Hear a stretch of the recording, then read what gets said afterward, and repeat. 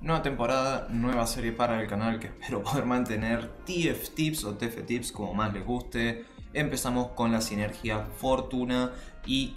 la mejor manera de mantener nuestra racha de derrotas. Fíjense como yo tengo una espátula de fortunas y voy a ir contra otro jugador que también tiene fortunas. Acá la idea es que yo quiero mantener la racha de derrotas, él también quiere eh, jugar, a mantener una racha de derrotas y en este caso yo le voy a ganar. Normalmente si estamos jugando fortuna eso significa que nuestra racha se va a cortar, se va a debilitar y nuestra recompensa va a ser mucho más baja. Pero fíjense al detalle de que yo saqué la espátula de mi mesa, desactivé fortuna y por lo tanto, mi racha de derrotas de fortuna no se va a ver afectada una vez que yo vuelva a activar mi sinergia de fortunas, esta racha de derrotas y mi recompensa de fortunas se va a mantener intacta. Esto lo pueden hacer con espátulas o simplemente si tienen tres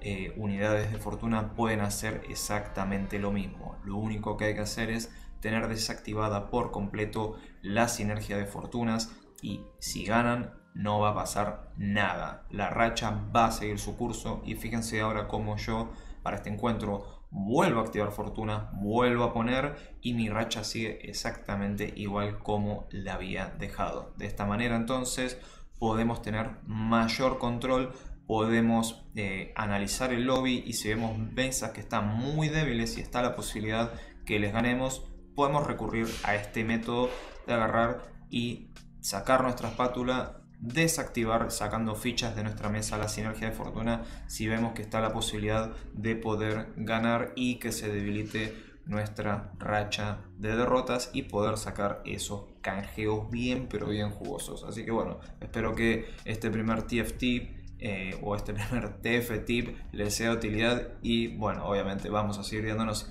en esta temporada que oficialmente un poco tarde pero finalmente arranca en el canal así que les dejo un saludo y hasta pronto